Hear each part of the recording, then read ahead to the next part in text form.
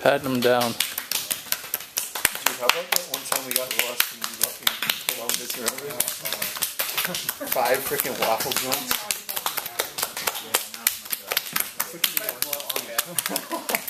Dude, Josh Beaumont is looking huge right now. He's 245. He's Oh, dude, the hot stuff is making it.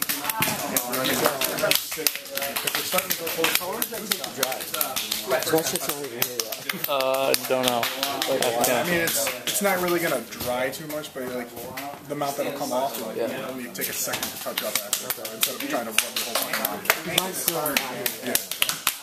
This year, the whole idea was to die as hard as I can and Boom! Look at those glutes. make sure it's had in it.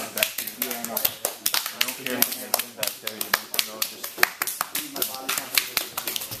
Why don't you want me to record the guy?